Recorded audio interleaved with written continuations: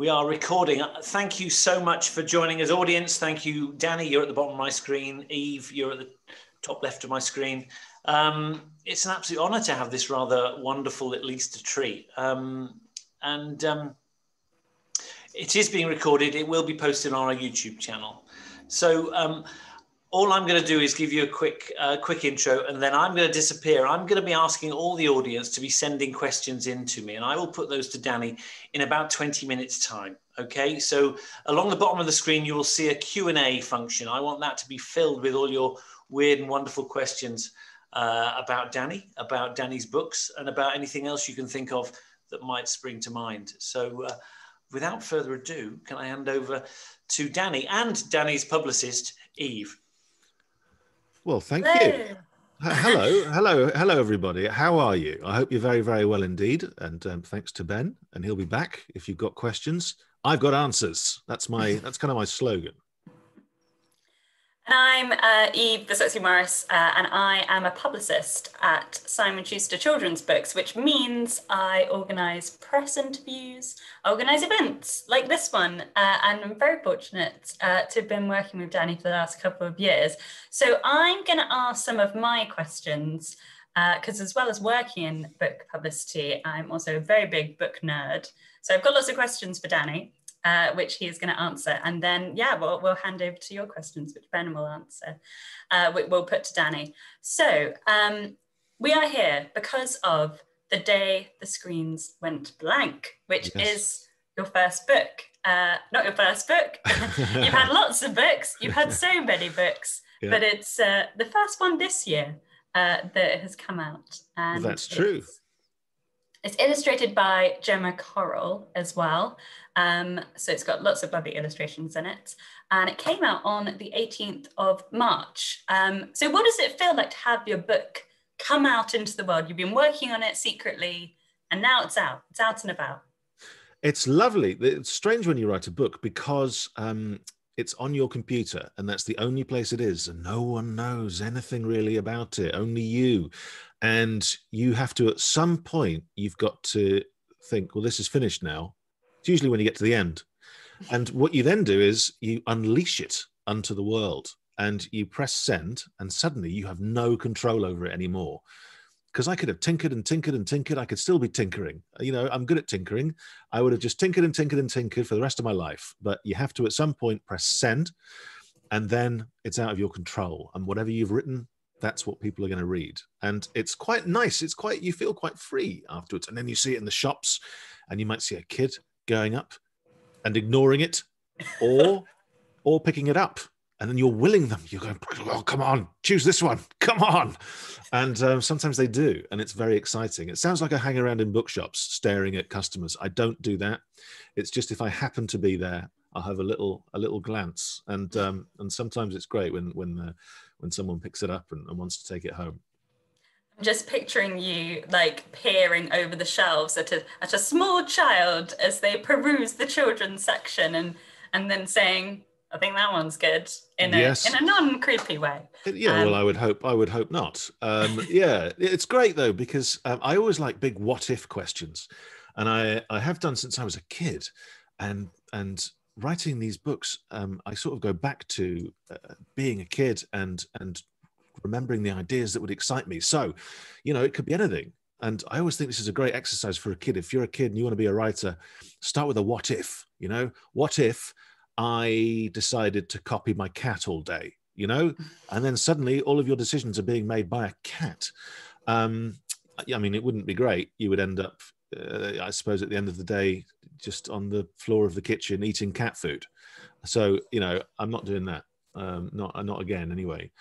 And I thought about, you know, what if the whole world just got stuck still and you were the only person that could move around and all the grown-ups were like that and you could tie your teacher's shoelaces together and then when the world started again they'd fall over and they wouldn't know you were to blame or you could go to the sweet shop and just you know have all the sweets or you could go to the theme park and just ride all the rides or get in a lamborghini and drive that around all these kind of big what ifs and so it was really um yeah it was it was before lockdown that i thought what if all the screens went blank and then lockdown happened, and we all started to rely a lot more on screens than than we had before, whether for school or for pressing a button and summoning up your grandma, um, or talking to your pals, or just playing games or watching films.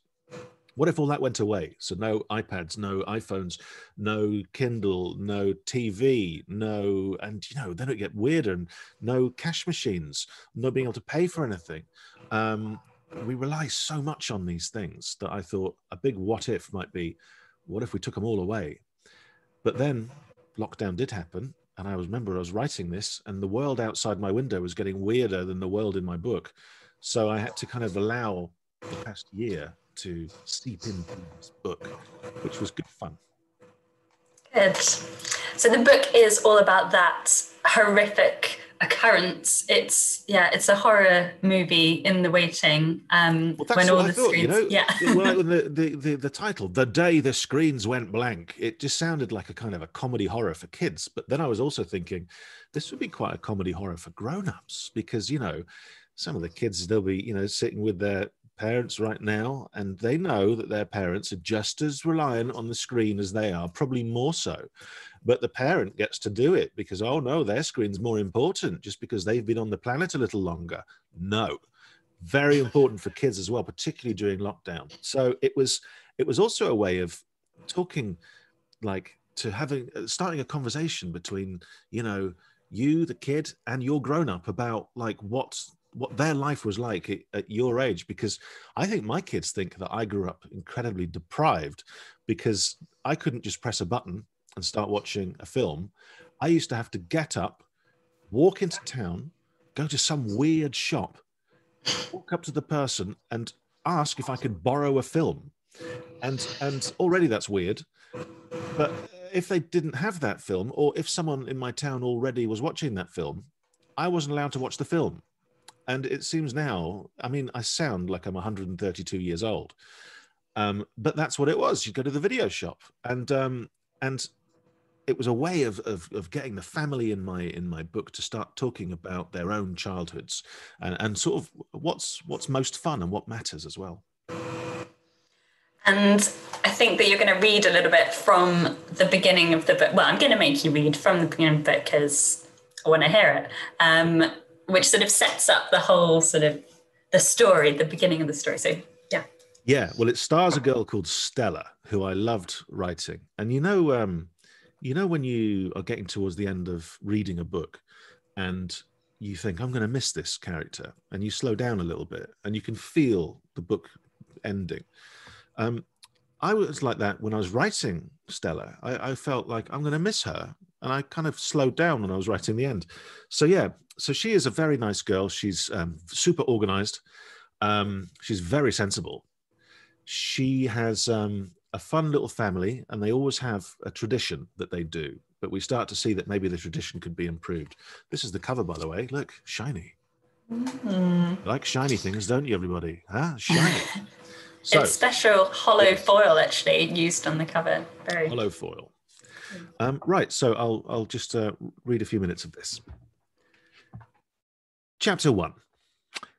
So Sundays in my house are awesome because on Sundays we have Bobcroft Family Film Night, and Bobcroft Family Film Night is spectacular because Dad dims the lights and Mum makes popcorn. So already this is kind of a winner, right? The whole of the Bobcroft family then strides into the living room. My brother Teddy sits on the big chair in the corner because he's the littlest. I sit on the beanbag, which one day, when we finally get a dog, I will give to him or her with great pleasure because I love dogs and I want a dog. And mum and dad sit on the sofa and make all those sounds like ah that grown ups make when they sit down and they want to tell you that they're totally relaxing. Dad picks up a remote and holds it in the air like he's about to start a race to signal that film night is beginning. And like lightning, I pop on mum's noise cancelling headphones and I get my phone out. And Teddy, well, he gets his tablet out. And mum and dad press play. And we all sit quietly and watch our separate films. Mum and dad watch their film on the big TV. Usually, it's a film where people follow each other around an old house saying long words at each other. And sometimes mum and dad suddenly randomly skip bits, and I'm not sure why. I guess they're impatient. I'll usually choose something exciting but age appropriate. And on Sunday, it was Dumbo, which I was greatly enjoying, though I have to say it was a little far fetched. So, just like every other Sunday, we're all sitting there doing our separate things like a family when suddenly it happens. The music stops and the elephant disappears. And now I can hear dad again, and he's saying, wovl, lov, lov, lov. So I take off mum's headphones, and now I can actually hear him properly, and he's complaining that their films just stopped. He's sitting on the edge of the sofa and he keeps pressing the buttons on his remote control, but it doesn't help, so he presses them again, but much harder, as if that's going to do anything. Well, I looked at mum and told her my film had gone too, and she asked Teddy if his thing was still working, but it wasn't. So we all just sat there for a bit. And then we just put down our screens. I went to bed. Now, I know that wasn't the most dramatic opening of all time, but you just wait because this is where things get weird. When I wake up the next morning, all I could hear was panic from downstairs. I checked my alarm clock, but it was dead. And even though I'd left my phone on charge just in case it came back to life in the night like a mobile zombie, well, that was dead too. I could hear Dad in the kitchen complaining about sleeping in and being late for work. He kept shouting, Alexa, what time is it? And Alexa, what's going on? And Alexa, what did I do? Why aren't you talking to me? I should just apologize if any Alexas have just gone off in any of your homes. Mum was muttering something about how the systems must have gone down, but apart from her and Dad, I couldn't hear any of the other sounds I normally hear. I couldn't hear Good Morning Britain or Sky News on way too loud and mum wasn't making her poached eggs in the microwave, there were zero beep beeps. Dad hates being late. He says when he was a kid, you could never be late because in those days you couldn't text people to let them know you were going to be late, but that you were on your way. He says if you were late, when you got there, everybody would have just gone somewhere else because you were late. And you had no idea where, and you couldn't call them, so you just had to walk around for ages and hope you found them. What kind of system is that? It is madness. Someone should have invented phones a lot earlier, though Dad says they had one in each house. Poor Dad, growing up like that. When you wanted to speak to someone, you had to phone their home phone and speak to a grown up first. I mean, excuse me, but what? You had to talk to someone's mum and ask if you could speak to your friend. I'm sorry, but I have human rights. I don't need to get stuck answering boring adult questions about how mum's getting on or how school is. Time is money. Anyway, because of all the shouting, I go downstairs and immediately I can tell that something's not right, right? First up, what was that noise? Answer that noise was nothing. There were no text message dings, there were no email whooshes, there were no bleeps or blips or tweety whistles or WhatsApp ting tings. Teddy was sitting miserably at the kitchen table with his blank tablet. Usually he'd be watching an age appropriate video of giant airliners or something, and dad's just staring at his phone and shaking his head. Anyway, just then there was a knock at the door, and it was Sandra from next door. She says, Have we heard? And we're like, Heard what? And she says, Oh, you haven't heard then? And we're like, Heard what? And she says, Well, it's not good news. And we're like, Just tell us what we have or haven't heard. Anyway, she says her telly broke last night, and we're like, Yeah, ours too. And then Dad spotted Sandra was wearing a normal old fashioned watch and asked her what time it was because nothing in the house was telling him anymore. She said it was half past eight. And now Dad was double stressed because he knew he had an appointment somewhere at 9 a.m., but he didn't know what it was or who it was with because he keeps his work diary on his phone. So he walked out the house, shaking his head, and he got in this car. And then he got out of his car again because he'd forgotten his phone. And then he got back in the car again because it wasn't like he needed it, it wasn't working. And then he got back out again because, well, he should probably take it just in case. So that is some of chapter one of the day the screens went blank. And here's the thing um, they then realized something, right? And something quite important because I was mentioning there that you couldn't text people when I was a kid and you couldn't kind of uh, phone them. Um, and you had to store every single phone number you would ever need in your head, in your noggin which is ridiculous. Who's got the brain space for that? Uh, how, how did we ever do it? But you just did. You just you knew that your friend's number was three one blah blah blah. You knew your own number. You knew other. You just did. Nowadays, of course, we don't because it's all in our phone, and we go to G for grandma, and it dials grandma. Who knows grandma's number? Literally nobody. Not even grandma. So when they realize their own grandma is now stuck somewhere because they slowly realize it's not just in their village, it's not just in their county, it's not just the country, but all over the world, the screens have gone blank. So how do they get in touch with grandma? They can't Skype her, they can't call her, they can't email her, they can't text her. They're going to have to get in a car and drive there. But like me, I was useless driving a car before GPS, you know, the maps and stuff that come in. That was brilliant for me because until then, if I wanted to drive anywhere, I would sort of drive down my street and then just go around the roundabout 50 or 60 times and then crash into a tree. so when I suddenly had the maps telling me what to do, I could do it. But they've got to do it without without the, the maps. They've got to find a map. We used to have these big, ridiculous yellow books, a map of the whole country. They were ridiculous. And I didn't understand what was going on. Everything was A road this and B road that. And you'd drive somewhere and then you'd see a sign saying the junction 93 of the B582 isn't working. I hadn't memorized them all. You know, I, I, how am I supposed to know? So I just wouldn't go anywhere. That was, that was my solution. Um, but they have to. So they've got to get across the country in a world that's suddenly completely different because there are no screens. How do you pay for stuff? Um, how do you know how much petrol you've got if if if it's a screen that tells you on your car? Um, you know, the hospitals, the traffic lights, everything has gone crazy. But through, they start to realize that they can do this because people did for years beforehand, before screens, um, you know, drive somewhere. Um, and, uh, and they find little moments of heroism and kindness on the way, and they find out things that they were scared of that maybe they shouldn't be scared of, and they work together. So, yeah, so that's what I hope. That's what I hope people get from it. And I hope it's a way to talk about lockdown as well, because for a lot of kids, I don't know how you feel. Last year's been uh, obviously weird. We all know weird. I think for a lot of people, it's been quite sort of scary and confusing as well. And it's weird to talk about, you know, especially when it's happened so soon into your lives. So, um, so yeah, it's a way of talking about what happens when everything you knew Great. And we're going to open up for questions in, in a second, but um, first have one more question, which is um, obviously you have you have kids who um, your own kids, not, not someone else's. Who, no, no, no. But um, yeah, so what what what did uh, what have your kids and, and your kids' friends thought of the book so far?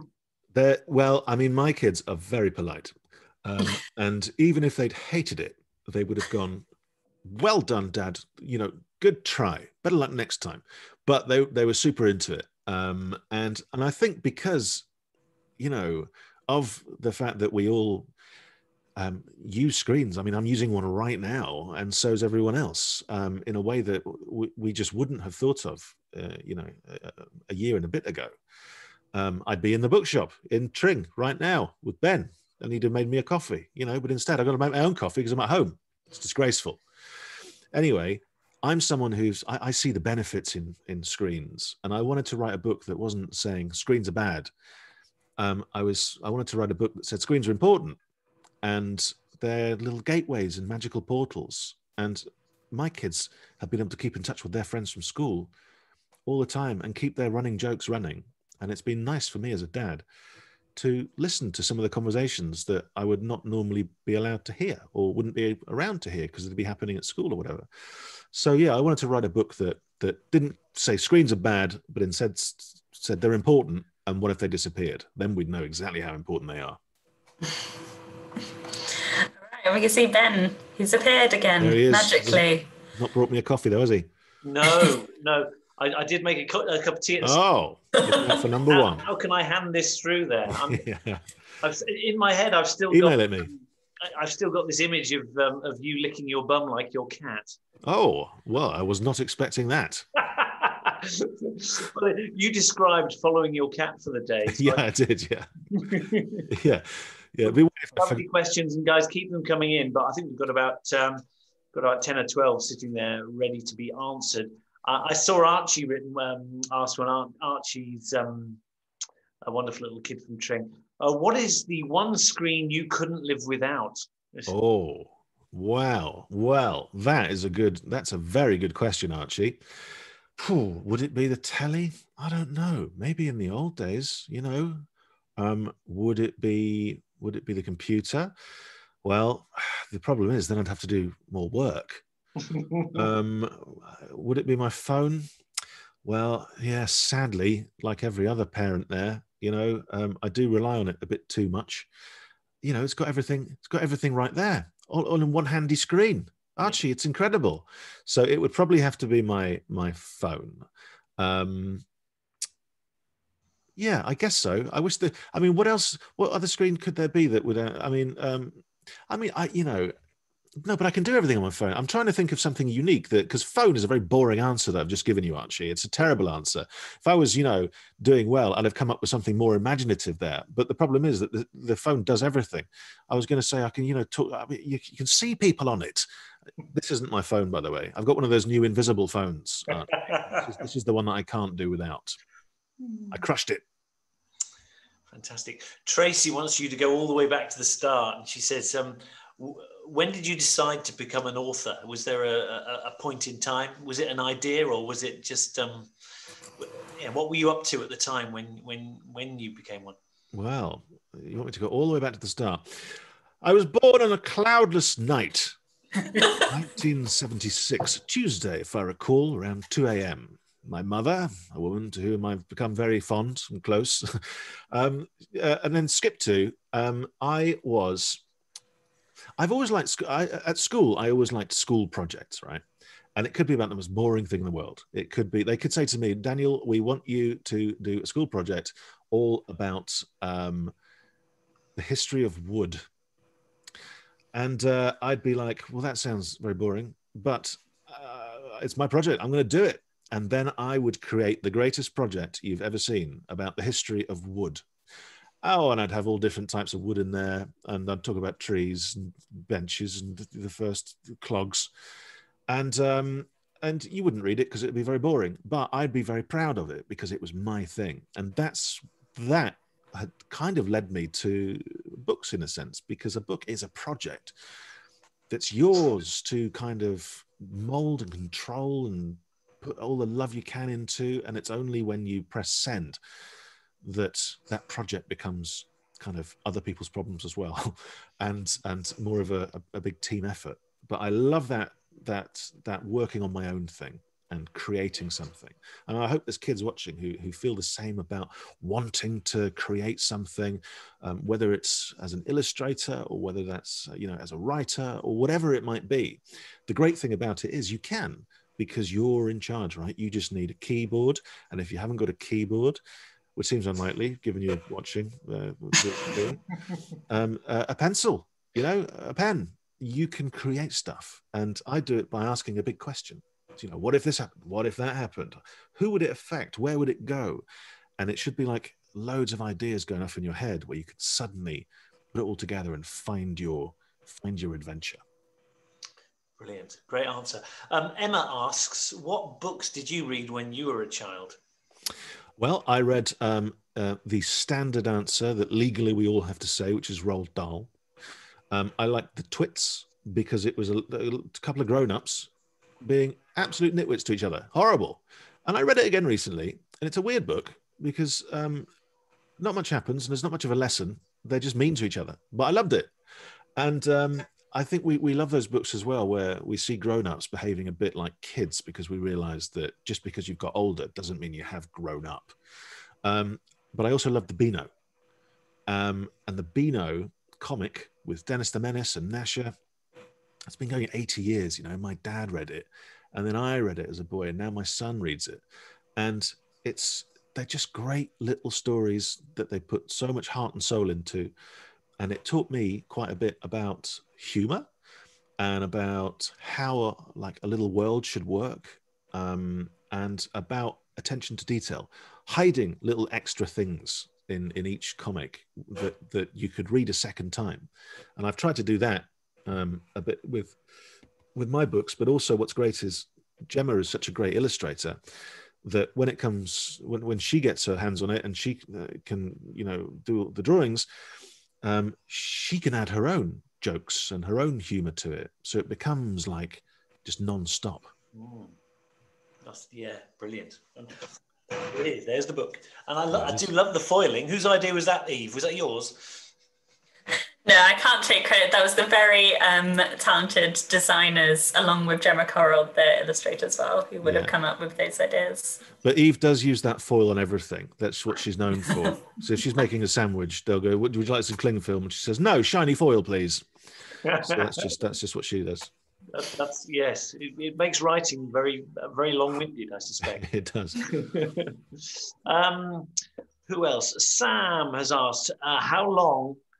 And I, I suspect there's a whole load of answers to this. How long does it take to write a book? Hmm. Well, it depends how long it is, um, and it depends how many long words you use. Because um, if you use a really long word, that can take anything up to a day and a half. Um, so I tend to use shorter words because I get more done. Um, but I suppose with this book, I wrote quite quickly because I felt it was, uh, it, it was like of the moment, meaning it was kind of about these days in a strange way, and so I wanted to get it out there quickly, and um, it probably took it probably took a few months. But the thing is that I, I was really enjoying writing it, so it didn't feel like a few months. They always say, if you can have a job that doesn't feel like a job, feels like your hobby, then you'll never feel like you're working. Um, they put it better, but that's kind of that's kind of that's how I how I feel when I'm on a on a roll with a book like this. You know, the weeks fly by. Um, but what I normally what I do do a good way to start if you're thinking um, uh, was it Sam that asked that? Yes. Sam if you're thinking what I do is once I've got my idea that excites me um, I think of like maybe a character or maybe a name and then I just start writing like anything anything just just to get some words down. And it could just be something about their socks. It could be I decide that they've got a cat. So what's the cat called? What's the cat like? What's wrong with the cat maybe um, and then you start to find out oh maybe this character maybe they're missing something or maybe they're missing someone or maybe they have to do something and slowly the words which you don't ever have to show anyone because it, maybe it won't go into the book but it gives you a start and it gives you an idea and then you get to know the person you're writing about so that when you go right chapter one you already know the person that you're going to describe and that's quite an important thing Brilliant. You've got Joanne thinking about the. Um, why would you write something about the history of history of wood? Well, uh, Joanne, it's very important. You know, uh, I mentioned clogs earlier. There's not just clogs. Um, you know, uh, chopsticks. I think that's a form of uh, balsa wood. Um, so you wouldn't have known that unless I'd done my very important research into the history of wood, um, which uh, Simon and Schuster they don't know this yet, but they're very proud to announce. My publishers, um, they will be publishing the first of my 300 volume um, history of wood collection which will be sold exclusively um, at uh, Ben's bookshop in Tring. That's Made right. with uh, hardback wooden books as Hardwood, well. hardwood, hardback. We're going to change the, our, the title of our shop. Actually, we're going to be called our, our wood bookshop. Yes, good. Yes, and, and it, that's the only books you'll be able to buy there. And Ben, I'm sure, will agree. Jo- Joanne then does ask a, a, a proper question. Um, what dare I say? No, the last one was proper as well. But is there going to be a new Hamish book? Well, I, there's going to be another book in um, beginning of next year or end of this, maybe uh, beginning of next year, about someone else entirely, um, who shares some stuff in common with with Hamish, but also uh, is also his, his own person. Um, so Hamish may fight another day, but I've got some other stories to tell first, and then we'll maybe return to Hamish when he's a little older. Florence asks, uh, who is your favourite? And this must be the most impossible question for an author to answer. Um, well, particularly Danny, anyway. Um, who is your favourite, Hamish or Stella? Oh, how dare you ask such a journalistic and incisive question designed to divide? Is this world not divided enough already without asking me to choose between my babies? Um, they're very different and they live in slightly different worlds. Hamish um, is my favorite, who lives in a slightly magical world where everything can happen. And Stella's definitely my favorite, who lives in our world where weird things can happen, but it's much more sort of real. So I couldn't possibly say, and also, how dare you? Mm, exactly. Well, to be fair, there's another question John wrote. What is your favorite book that you have written? Ah, well, for kids, I would, I, and I'm not just saying this, but probably the day the screens went blank, because um, it just kind of flowed, and um, it, it, it's quite simple in many ways. A big thing happens, a girl has to do something, and then she drives to try and do it, and it's what happens along the way, the people they meet. I enjoyed that because it can kind of go anywhere, and you can just suddenly introduce a new character. You can go, "There was a lady by the side of the road." now who's this because it could be anybody and what do they think about what's happened and what's how has it affected them so it's a great way of kind of meeting new real people along the way and either helping them or being helped or not being helped at all there's one scene where they suddenly realize they're not able to pay for their lunch in a restaurant and um, the lady won't accept checks and Stella's like, what, what exactly are checks? And mum's like, well, they're bits of paper where you promise to pay someone some money. She's like, that sounds like a ludicrous system. and, you know, and they can't pay by card, they can't get any cash out, all this kind of stuff. And they have to make a run for it. And they are not natural born criminals, these people. And the car is a little bit broken. So they have to make a getaway at about four miles an hour while uh, the very angry woman uh, from the restaurant is just walking alongside them. So disasters along the way are always fun to write. I had a very um, sensible um, little boy came to the door and a, a, few days ago, and I was describing uh, the basis for this the day the screens went blank. And I looked at him. I said, "Can you imagine anything worse in the world?" And he said, "Well, my parents would be upset." and uh, he said, "But wouldn't wouldn't all power stop? Wouldn't electricity would? Because I'm sure everything. I mean, he, he in a, in a in a in a in a fraction of a second, he completely rationalised the whole thing as to what would happen. And for a for a, for a nine year old, I was thinking, blimey, he's, he's he's going places. I love that because um, yeah, you have to be you have to make sure that the logic of your story is watertight because kids can spot any of that stuff. And I love sensible kids as well, which is why I like Stella. But I remember once at an event, um, I was talking about what would happen if the world stopped and what you would do. And I asked all the kids and, and had all these answers back. And it was kind of, they would, incredible stuff, crazy stuff, you know, going to banks and taking all the money or going to the department store and playing on all the toys or whatever. And one kid um, was, uh, he, he just put his hand up and I said, What would you do if the whole world stopped? And he went, I'd probably go to the fridge and get a pint of milk just to calm my nerves. Oh, bless you. That was the best. That was one of my favourite answers ever. Because of course you would. That's fantastic. Uh, Joanne has piped up and says, "No, my name is Milo. He, he's the little lad's on his mum's account." So exactly, it's Milo. We all knew it was Milo. Milo Joanne, Joanne's always taking the credit for Milo's ideas. And Milo has just just randomly said, "Hamish and the World Stoppers." That must be his favourite book.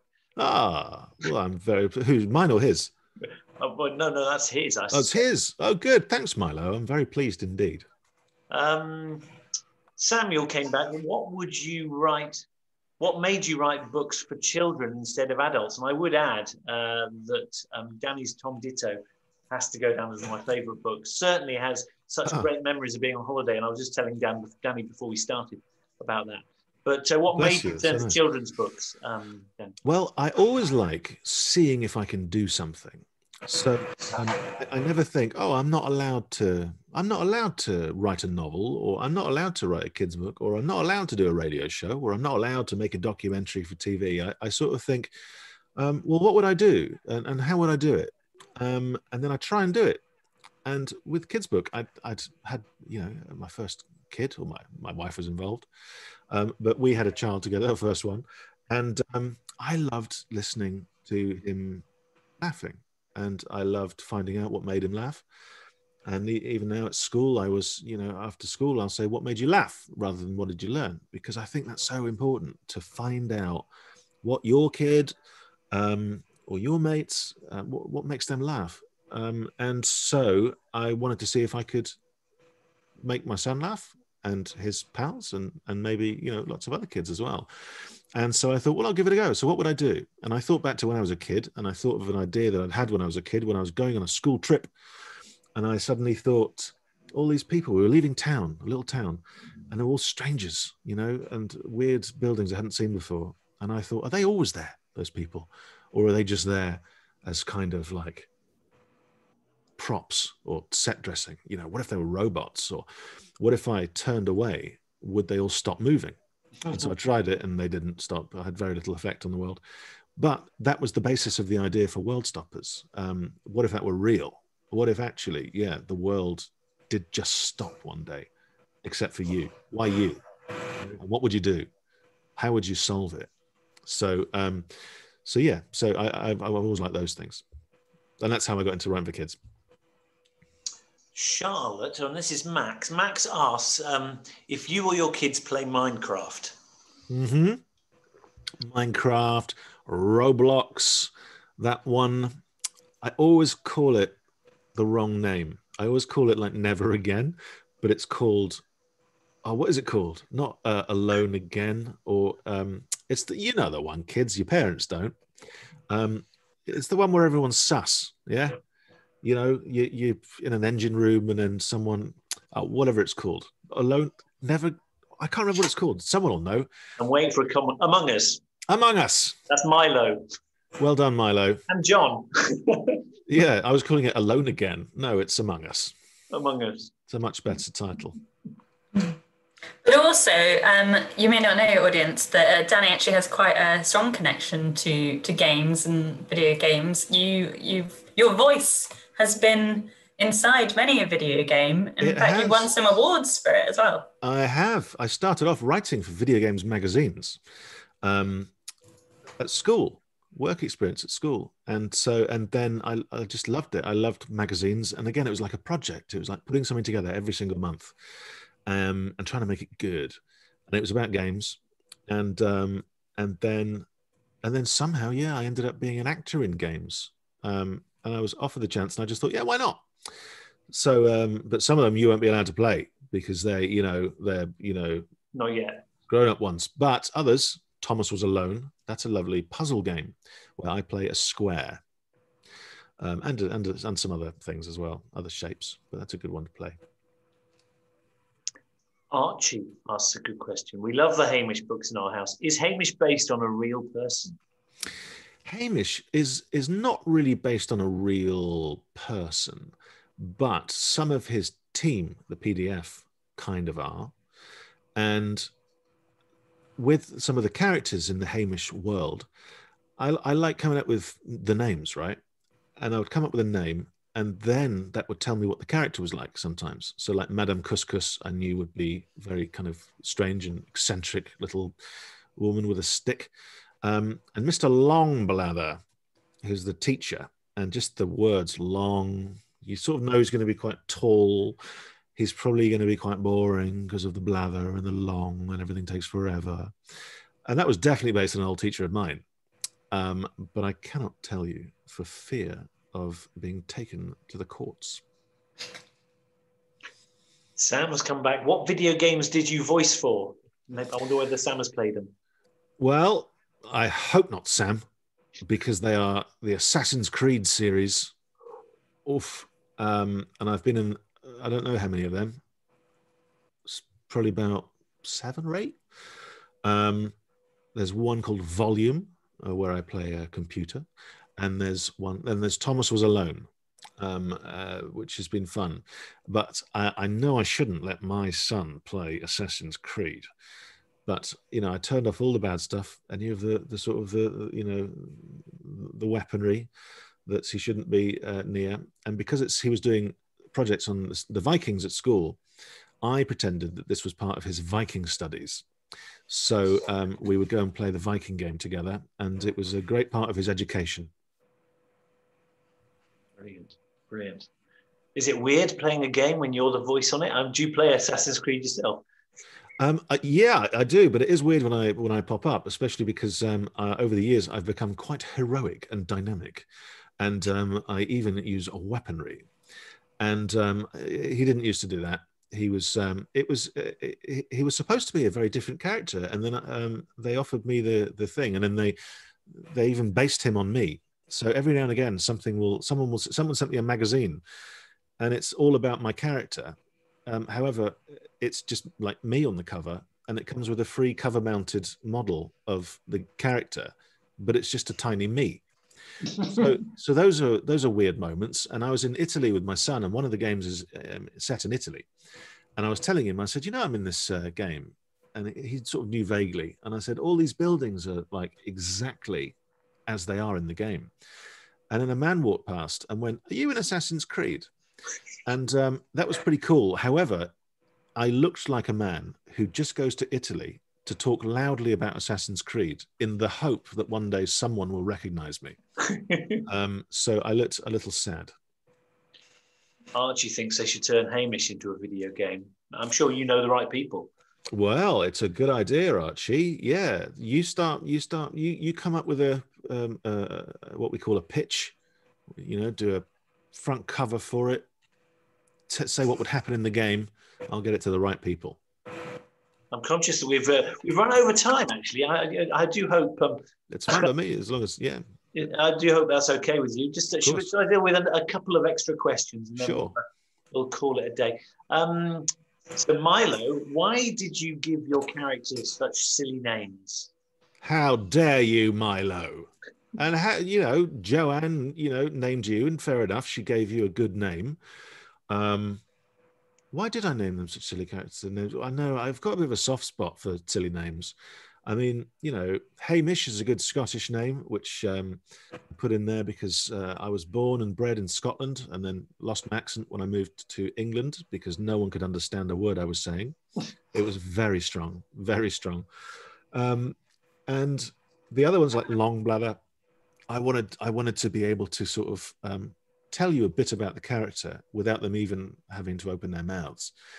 Um, and Stella, she's got a normal name except for her surname, which is Bobcroft, because I just like I like the sound of words. There's some words that are funnier than others, and that changes. I'll tell you that weirdly, it changes over the years. Some sounds, r- rhythm of words. Um, right now, like Kettering is quite a funny word, but maybe ten years ago it wouldn't have been as funny, and maybe in ten years' time Kettering won't be funny. But right now, Kettering's funny. I can't explain why. Um, but these things, there's some numbers that are funnier than others. Um, so you have to, yeah, I, I, enjoy choosing just the right thing, and, and very often it's about rhythm, and it's the same with names. Yes, yeah. I think Milo's particularly taken by the name Madame Couscous. yeah, Madame Couscous. You know, um, uh, uh, yeah, it's a strange one, isn't it? I thought I just thought couscous went with Madame even though you know Madame is probably French. Couscous sounds a bit French, but it's probably Moroccan. I don't know. Very international woman. Yes, very good. Right, one more. So Emma, I'm just going to give the book a, a, little plug. I know um, uh, many of you already got already got the book, but if you want any more, want to give them as a gift to anyone, uh, you can get them as um, for one day only. I'm doing it for a little bit off, uh, and they're signed as well. I've even got a signed Ta-da. There it is. I, that's an official signature. You'll all get signed on anyway, so that's all good. Um, so Emma, let's let's finish with Emma's question. Um, what gave you the idea to make this book? So, what was the was there a sort of moment, a blink in time? Was there a sort of uh, a eureka moment? Or? It was probably it was probably at the kitchen table, looking around and realizing that everyone was on a screen, and I was drinking a cup of tea and just looking around, and then I got my screen out, and I thought, "This is ridiculous. What are we doing?" And everyone's sort of talking to someone. Someone's sending a message over here. Someone else is playing a game. Someone else is replying to something. So there was still communication going on. It wasn't like anti-social. It was quite social. It's just that we weren't being social together. Mm. So I think moments like that probably seeped into my head and made me realize what if we got rid of them all? You know, just for a day maybe. Um, but even that is too horrific an idea for some of the people watching right now. So poor Stella in this book. I mean, you know, do they come back? You know, why did it happen? I'm not telling you here, um, and I might not even tell you in the book. You have to find out. No, no. I, I had, I've had those moments when you're in a tube carriage and you look around and every single person, not that many children know what a tube carriage is, but um, you just staring at everyone on the tube, just staring at their phones, nobody conversing. Not that people converse on London tubes, really. A, I know. Well, in the old days when you were waiting for a friend, you couldn't look at your phone or anything. You had to, but you had to look busy, right? It was oh, you couldn't you couldn't just be sitting there. So you'd get a packet of peanuts or crisps, and you would just read the ingredients until your friend arrived, and that's how we lived for many years. Brilliant. Appalling. So I'm, I'm just going to a, a couple of little of uh, my questions, if that's right. So this last year, um, what else have you been doing other than um, children's books? Well, um, I've, I've, I've written the one for next year. Um, I have um, been doing a radio show every Sunday from here, from this exact chair where I sit. And it's all very clever. Again, without screens, I wouldn't be able to do that. But no one even seems to know that I'm at home. It's great. Um, that I've been doing a lot of writing for another sort of big project that I've I've got coming up. Um, so I've been writing hundreds of thousands of words for that and lots of little plans. Um, and I've written a script. So I've been I've been I've been keeping busy, but I've also been quite enjoying going outside and looking at trees slowly change, and all the little moments that you normally miss, um, and baking terrible banana bread. I've poisoned nine people. Not just nine. So far. um, yeah, no, I'm not the greatest chef, but um, you know, but yeah, it's been a, it's been a, it's been a strange year for everybody. Um, but um, we've got through it, and we're nearly there. So good luck, everyone. We are indeed. We are indeed. So a quick thank you, Eve. Thank you very much. Um, Eve, Eve is a good friend of Leanne who works in our bookshop. I don't know if any of you know Leanne. So um, uh, that's connecting. They even Leanne used to work together. Danny, thank you so much. I've I've been a huge fan of yours for years, so this is a little bit of a, uh, oh. hero moment here. I oh, bless you. Thank you so much. It's very nice of you. I'm really pleased that you liked, um, yeah, the the novel as well, the Tom Ditto novel. It means it means a lot. Thank you. Yeah. But, uh, so, guys, thank you very much. This is the book. You can get it from us. Um, there's a link on the chat function. Grab that now whilst you can. And um, without further ado, thank you, Danny. You've been uh, you've been a, a, hero. Thanks to all the kids as well. Thanks to uh, Milo. Um, uh, you know, watch out for Joanne. Never trust her fully. Um, uh, Sam and um, Joanne. Uh, no, who was the? Uh, They're all unanswered questions. All of you. All of you. Archie. There was Archie. There was Tracy. Tracy. Was, um, Nick. That's Florence. Thanks, Florence. Um, Max and Thanks, Charlotte Max. and John. Charlotte and John. Yes, loads, loads of them. And, Thank you um, all. And if um, next time you've got a, a, a, um, a, children's book out, what we'll do is we'll do an um, event for schools, if that's all right. So we'll have um, hundreds of schools, and that, that's always quite good fun. We do. Cool. Yeah. Maybe we'll do. Maybe we'll do the history of wood. And then we'll do the history of wood. Fantastic. Right. Thanks ever so much. Thank you both, and um, have a great day. See ya, Oliver and James. Bye bye, everyone. Bye-bye. Thanks.